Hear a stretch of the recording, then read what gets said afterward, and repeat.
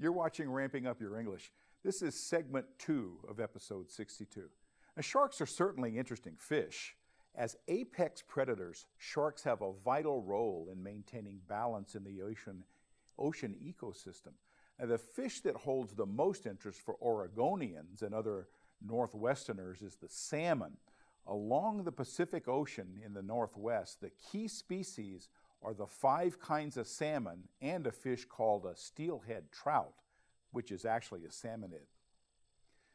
Here, there are some of the steelhead trout moving up a clear stream to reproduce, to spawn. Now, steelhead is in fact a rainbow trout that sojourns in the ocean and then returns to spawn, thus the name trout. Now, steelhead are interesting in a number of ways. They have some of the same traits as salmon, yet the DNA of a steelhead and a rainbow trout is exactly the same. Also, steelhead can make more than one spawning cycle. Salmon have a slightly different cycle. Let's learn more about salmon from this video. In southern Oregon, the two main salmon species are the Chinook salmon and the coho salmon, seen here swimming, also known as silvers. They make their spawning runs up the Rogue River and its tributaries as far up as Lost Creek Dam. Due to improvements in water quality, they now spawn in Bear Creek, which runs through the largest human population centers of the Rogue River Valley. Coho salmon are on the endangered species list. Both have been found on Lazy Creek, a Bear Creek tributary. Neither were here until a pile of concrete debris was removed from the creek. Look at that. That's a huge amount. What if they lost all the fish, like put some rocks there and just like leave all those big fish here? Did you understand, Jose, that before they removed all that stuff that was in the way, they didn't have this many fish up You here? did it? Mm-mm. Because they were getting stopped by that, basically a dam of, of material. In 2010, these Chinook parr fry were found on Lazy Creek. Chuck Fustish of Oregon Fish and Wildlife explains how surprising this discovery was. We captured just Chinook salmon this, this time. We caught about seven fish in a trap that was set overnight on Lazy Creek.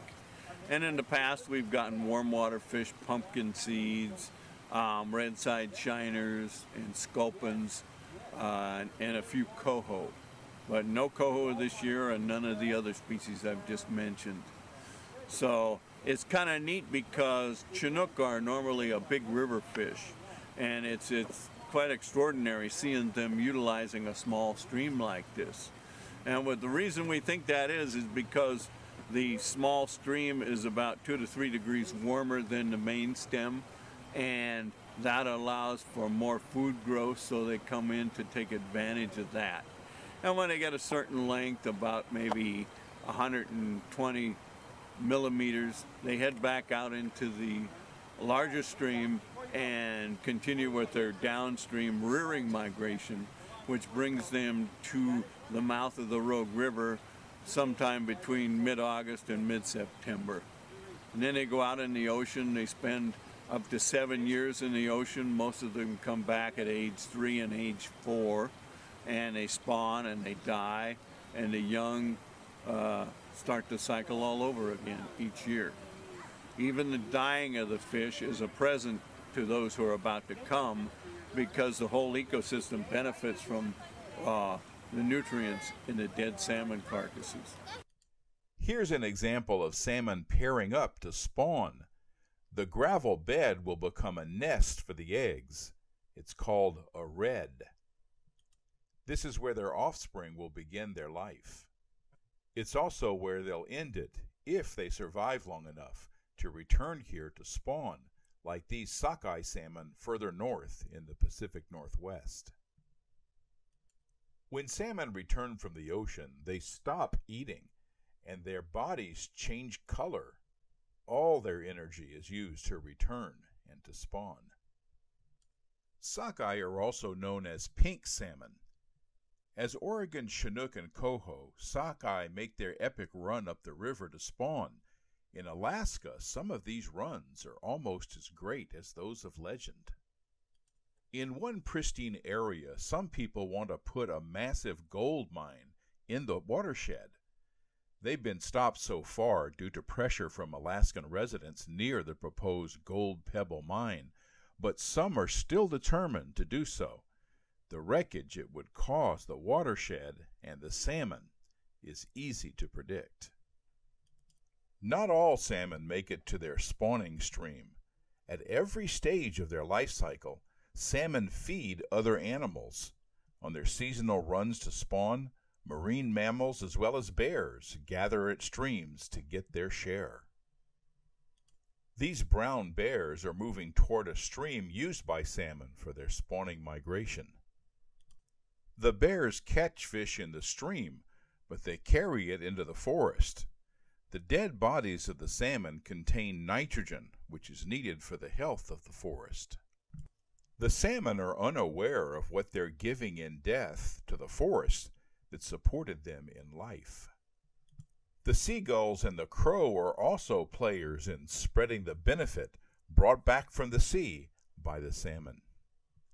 The decomposers, the carrion eaters, all of them have a role in this exquisite system of providing nutrients to the forest. It's called the nitrogen cycle. The question is this Do we support and perhaps enhance this environment, or do we degrade and destroy it? Something to think about. We can jump in here or anywhere in the life cycle of salmon. That life cycle needs a boost sometimes from humans to mitigate changes we've made in the environment. And that's the role of a fish hatchery like the one here, the Cole Rivers Hatchery at Lost Creek Lake. Salmon can't migrate past the Lost Creek Dam on the Rogue River, so fish are reared here to furnish the next generation of salmon. The hatchery consists of fish pens, lots of water pipes, and the control systems needed to provide the optimum conditions for salmon to grow and develop. At times, salmon, steelhead, and other fish are collected, stunned with an electrical shock, and sorted by species and by whether they're wild or hatchery fish. As English learners watch, hatchery workers go about this sorting, allowing the students to learn about these iconic Oregon fish and even to touch them. Students then get to witness other hatchery operations, like moving fish from one rearing pond to another to suit their growth needs. This is similar to the release process that will take place when the fish are mature. That's when they'll be trucked downstream and released into the river for the next step in their life cycle. The hatchery is where eggs are harvested from the females and fertilized with the milt of the male salmon a much larger percentage of hatchery eggs will hatch out and survive than they would in nature. English learners on this field trip also watched the spawning of wild salmon in the Rogue River. Whether wild or hatchery, the basic life cycle for salmon is the same. We can start with the thousands of eggs laid by the female and fertilized by the male. Those eggs hatch to become alevins, tiny fish with egg sacs attached to provide nutrition.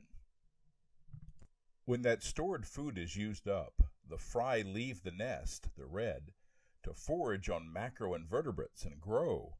At this stage, they have parr marks, vertical stripes that help them blend in and become hard for predators to see.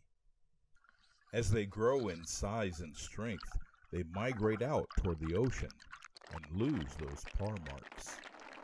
Most will become food for other animals, but the survivors will follow the river to an estuary, an area that's a mix of fresh water and salt water. This is where they make a remarkable change.